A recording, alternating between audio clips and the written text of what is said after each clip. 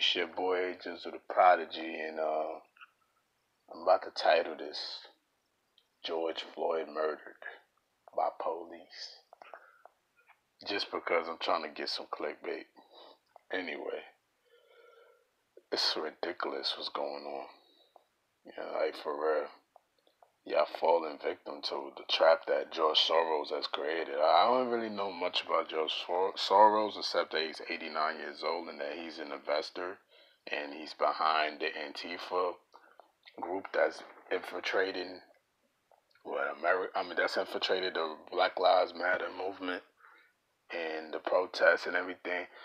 And you got cops that being infiltrated probably by a much larger police entity, better known as the FBI and all that shit, to follow orders to go ahead and incite a race war, to continue to blame the protesters and the rioters for looting. You, some of the people that are looting are actual citizens, and some of the people that are looting aren't citizens. They're being sent by the fucking federal government. And it's just crazy because, you know, a lot of black kids have been kidnapped and raped and molested by these rich white men and even celebrities that we know. I mean, Hillary Clinton and all these other people and shit, they, they have indictment numbers. You know, people are starting to wake up to the fact that Hillary, you know, Hillary got a case on her. You know what I'm saying? Bill Gates has been, he has, um, I, I think like about a half a million people have signed a petition to get Bill Gates arrested because of the vaccines and because of the fact that he's been funding China and WHO and all that other shit and was behind the coronavirus, people are starting to realize that this coronavirus is a fucking hoax. I mean, not a hoax, but it's a, it's a um, this shit was bioengineered. You had so many doctors coming out on video trying to let the public know, like, do not fall for this coronavirus shit. Judy Mikovits, who was on Young Pharaoh's show, you know what I'm saying? If you don't know Young Pharaoh, he he's been interviewed. He interviewed Judy Mikovits. He interviewed Dr. Shiva, who's running for senate in Boston. I hope he becomes a senator in Boston because he he's all about herbs and all about natural remedies to deal with colds and shit. Like he he you know what I'm saying?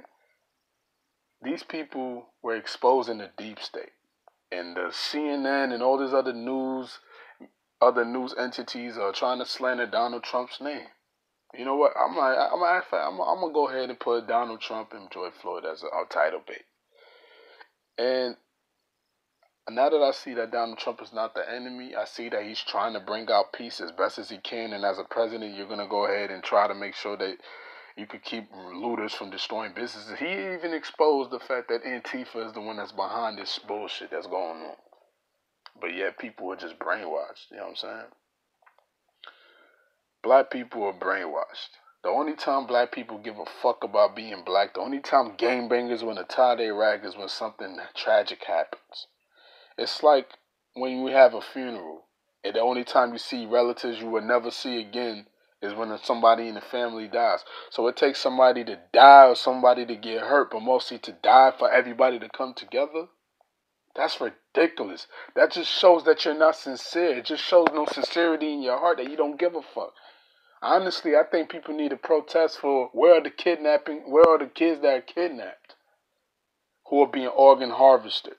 Where are the kids being kidnapped, who are probably being ritually sacrificed? Where are the kids that are being kidnapped?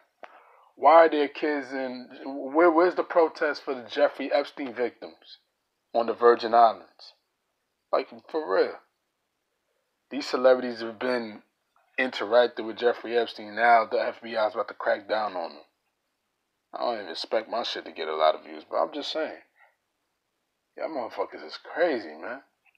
It just goes to show that the government knows how to psychologically control the mass. Because they know what drives the emotions to get there, to continue to play chess. Hey, they playing chess, my nigga. We playing checkers. They're close to checkmate. They've been close to checkmate a lot but they haven't won the chess game yet. We can beat them in their chess game. We just got to be smart and organized properly and strategize. It's just fucking crazy, man. It's just crazy. And all the black people who think Joe Biden is the answer, no, that nigga is the cancer. Trump is not really a bad person. I'm not saying he's all that, but he's really not bad as it seems. Shit is just crazy, man. People just don't use their mind anymore. It just aggravates me. can't get a peace of mind, bro. Because one minute the end of the world is coming. The next minute, hope is here. The next minute, a distraction is there in front of your face. A cop killed a black man, which is probably hired by the fucking FBI or whatever. It's probably not even a regular cop. George Floyd probably wasn't even a regular black man. This shit is premeditated. This shit was planned to distract the people, distract the mass from waking up. Now we all back to sleep. I'm not back to sleep, but other people are back to sleep. Anyway, that I'm, I probably might make more videos because I just want to express myself. Usually I express myself on Facebook, but I've been banned for 30 days to comment because I said any Haitian who voted for Hillary Clinton is stupid. And Hillary Clinton was at my graduation in 2017. Anyway, I'm out. Peace.